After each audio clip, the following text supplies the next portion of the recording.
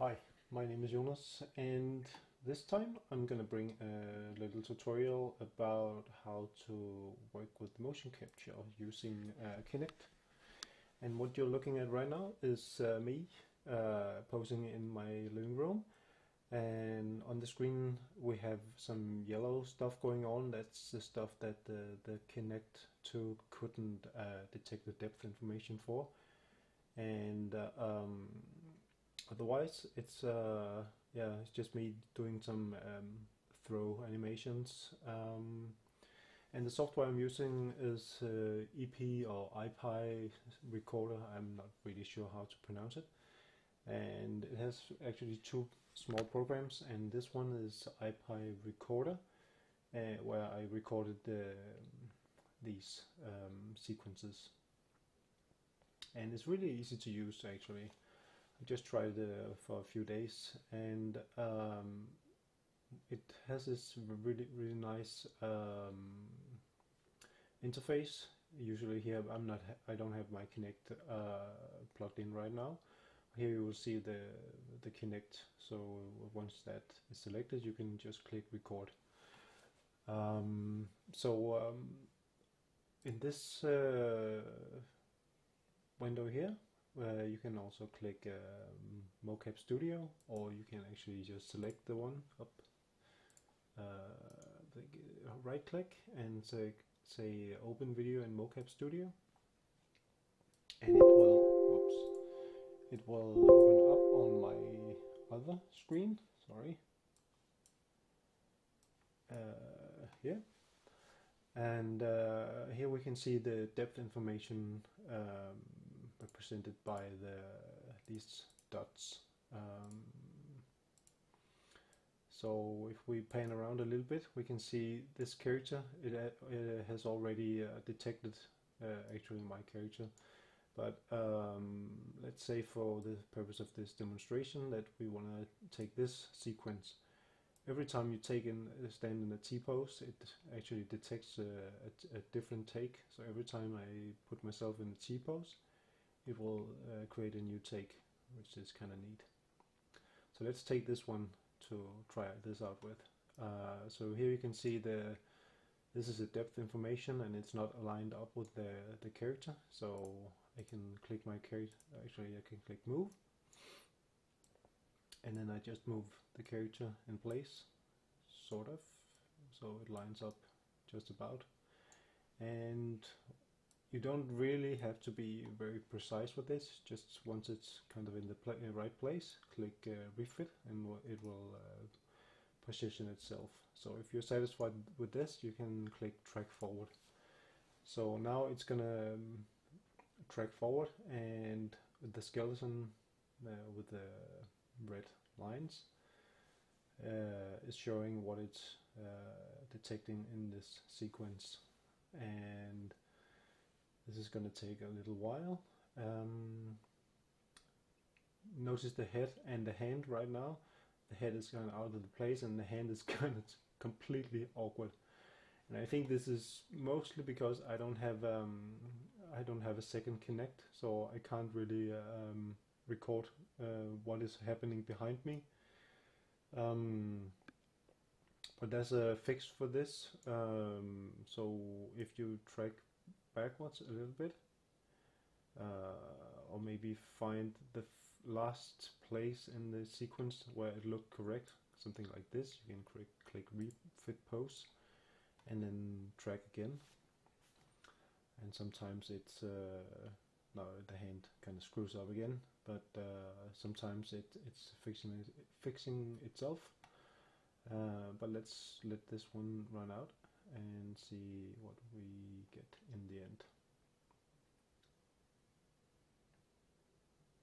Alright, it didn't really fix anything, so what we can do instead is to take the last bit here and we can click IK for inverse kinematics and uh, this is menu up here pose. If you can't really find the hand then you can move the hand out like this and down. And now we can click refit and kind of like this I think. Alright so now it's in place again and then we can click track backwards. So now it's tracking backwards and the arm is still in the correct place. And there it screws up. So we just have to forward a little bit until it's kind of in the right place. Something like here maybe, I think, and then refit again and track backwards. And let's see, yeah, just continue tracking.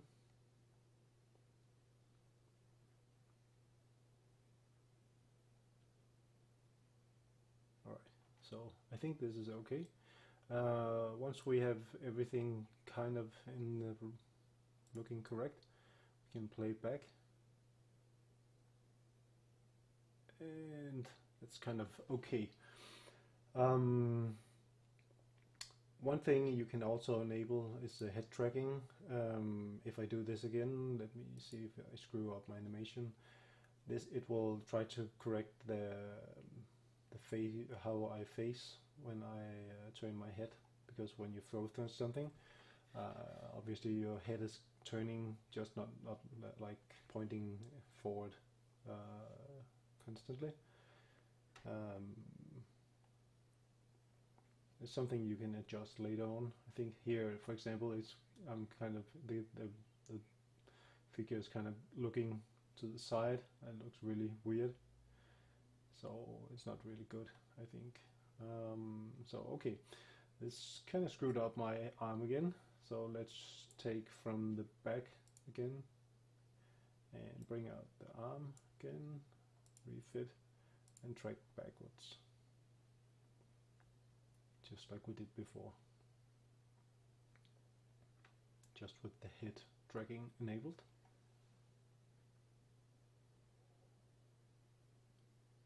So far it looks okay. And it screwed up. So let's go a little bit forward like this refit and track backwards. See how that looks I think it's okay. Let's see, very slowly move forward.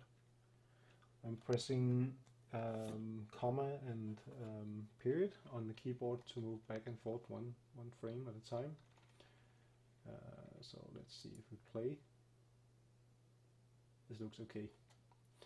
Okay, uh, once we have this in place, we can, because there's all, all this jittering happening, gonna, uh, especially on the feet, you need to afterwards uh, correct some stuff. Uh, but some of the initial jittering you can get get rid of by clicking this jitter removal. it will kind of smooth out things. Um, you can also play around with the options. I'm just going to let this one uh, run through this little sequence here. Um, but this this option lets you um, decide how to smooth each individual part um, how much. So let's see. Okay the arm pop back in. Huh. all right uh, so let's see um, if we click options for example the left arm right arm I want to smooth a little bit more maybe the legs also. And you can click OK. And um, let's run another pass. I haven't really figured out you have some buttons up here also refine forward. I think it kind of does the same as jitter removal but I'm not really sure. I think actually this does something but these two, uh, these buttons and this one is uh, are buttons you want to push afterwards once you have uh, the rough animation tracked correctly. Um, about the feet, which is uh, really being jittery right now, uh, you definitely want to put this through Motion Builder, but since I haven't really worked in Motion Builder yet, I've just seen some videos with people uh, playing uh, around with it and doing some really amazing stuff. Um, I think uh, you need to go and uh, make some IK uh, fixation of the feet to um, to get completely rid of this. Otherwise, it's gonna look it's gonna be noticeable in, in once you get it inside uh, Unreal Engine. So I'm just gonna let this refine forward run.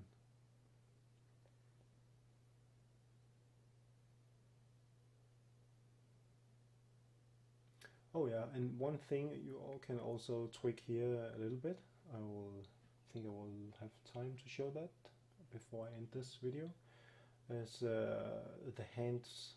The hands are currently not uh, being animated as far as I could tell. Uh, whoa, something's off with the hand. Anyway, I don't need that part anyway. So let's see if we play this from the beginning now.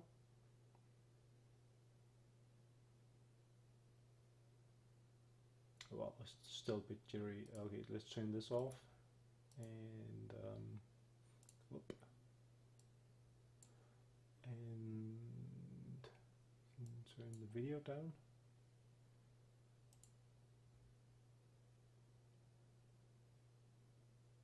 Uh, it's definitely jittering quite a bit.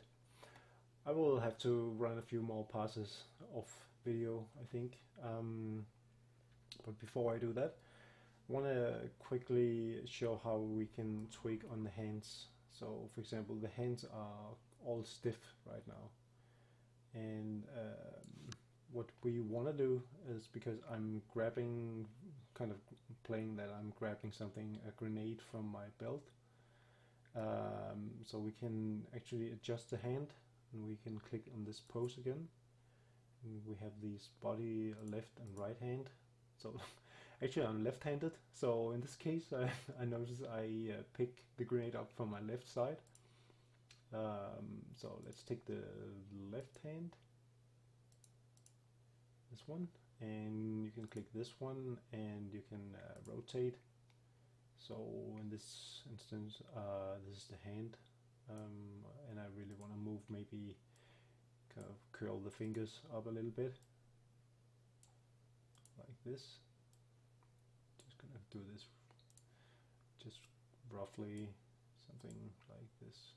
I'm not working as an animator, so I uh, this is really probably not something an animator would do. Um, oops. In my personal time, actually, I work as a project manager, so this is uh, just a hobby for me. Um, anyway uh, so now we have the hand kind of in place and something like this. So now I'm grabbing something and when I move forward and backwards you can see the, hand posture is being kept. So I don't have to refit this for each frame. So um, let's forward a little bit. So here yeah I would maybe pull maybe uh, if I wanted really I would do something with the hand, the right hand here. Uh, so I would maybe uh, also bend some of these a little bit, probably also a little bit before, but anyway, just to make a little bit adjustments here. I think that's okay. Uh, and maybe also bend these a little bit.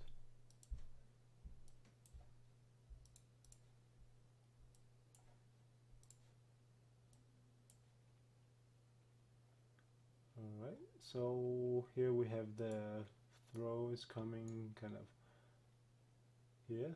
So probably I want to stretch out the left hand again and move the fingers out again. Something, I don't know how you really do this.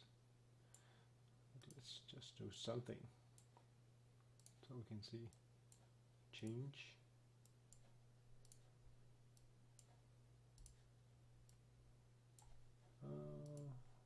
Pinky. Alright, so something like this. Let's uh, see this again in real time.